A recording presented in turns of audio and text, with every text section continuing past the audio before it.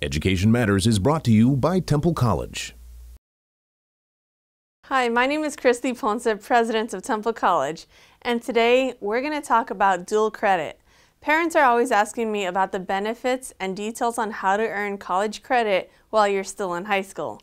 Today, we're going to hear from Rosa Berreles Acosta, who heads up the dual credit programs at Temple College, to learn more. Thank you, Dr. Ponce. I've been working with dual credit students for more than 20 years. I've seen how this great resource can change the lives of high school students and prepare them for success as they take their next steps in their education journey. Here are the top four reasons why I think dual credit is the best choice a high school student can make. 1. Dual credit is an actual college class where students can earn guaranteed college credit as well as credit for high school. 2.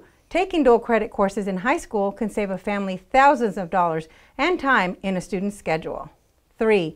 Dual credit builds confidence among students because they have the opportunity to take college classes early and experience the realization that they can be successful in college. 4. I recommend taking dual credit over AP to ensure that students are going to earn college credit.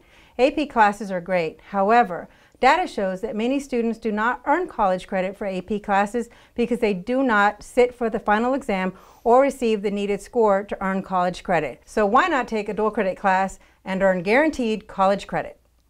Visit your local community college today to learn about how to take dual credit classes while you're in high school.